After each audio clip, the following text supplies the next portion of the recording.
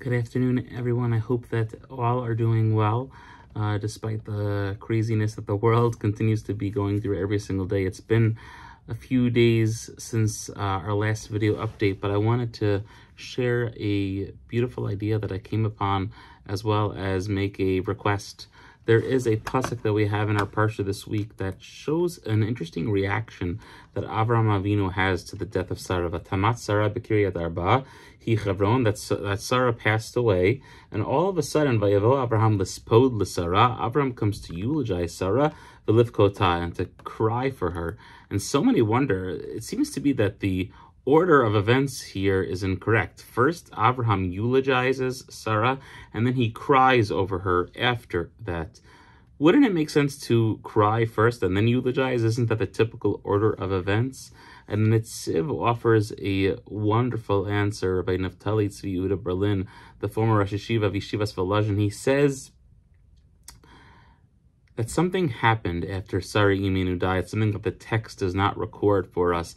And it's that after she passed away and word got out, people began gathering around the home of Sarah and Abraham. We know that their home was open to everyone. The whole world could come visit their home with guests for meals, sleeping, whatever it might be. They mastered the mitzvah of Hachnasas Orchim, of welcoming and guests. And says the Netziv that people came to gather around their tent, around their home, right after word got out. And Abraham had a choice. He could have fallen into a deep sense of sadness and crying and depression over the loss of his wife, or, as the Netziv says, he could have used this unbelievably, unbelievably deeply painful and emotional event to do something positive with. And he chose that option. Says the Netziv, that he realized that he had two options here. One was that he could eulogize Sarah now when everyone was there, or he could eulogize her later when not everyone perhaps would have been able to show up for the funeral procession. And says the Netziv, Abraham chose to eulogize her now, berov am, with more people, because to do something as powerful as eulogizing Sarah Imenu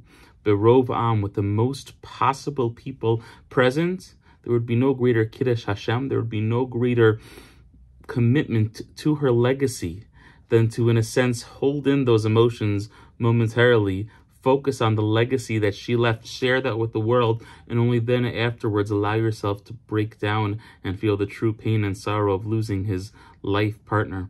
Perhaps we can take as a message from this that we understand that there are different times for different moments in our lives, that there are events in which we have to maybe close the door, be in private, cry, experience true pain, which I know many of us have had over the last several weeks, the last month plus. But then there are also moments that we have to not turn off that pain, but almost compartmentalize those tears and say, hey, we are allowed to feel that anger, that pain, that rage, that sadness that we are all experiencing. But how are we going to utilize it for something practical, for something mean meaningful? And says the Netziv, when the time and opportunity comes to utilize something to be brought into the public, barov am, to bring it to the whole world and the world stage, that is something that we must utilize to the highest, to the strongest of our abilities. And so perhaps we can understand that in the time that we're living now, that there have been those times to be in private and those times to be in pu public. And I'd like to make a push next week. There is going to be this massive rally in Washington, D.C. We are blessed to be a part of a community that sees sees this as a priority, and the Federation here is sponsoring five buses to go from our community for well over 100 people and that is the minimum. They're hoping to do more if there is more of a need. But we are hoping to bring over 100 people from our Rochester Jewish community down to DC to join friends from all over the country to protest and to stand up for what's right, to stand right in front of the White House and say to the President of the United States of America, the leader of the free world, to please continue to hear the plight of our brothers and sisters in Israel. We have to also show our thanks for all the support that we have received thus far, and it's important for as many people as possible to show up. So if you're listening to this and you're on the fence, maybe I should go, maybe I shouldn't go. If you're listening to this and you're not even sure what I'm talking about, please do whatever you can to A, learn more. Please feel free to reach out to me about it. And number two, um, if you are looking on how to get there or the best way to uh, be involved, please also reach out. It's important that everyone that is humanly possible and capable to show up should show up for this monumental event in American and world Jewish history.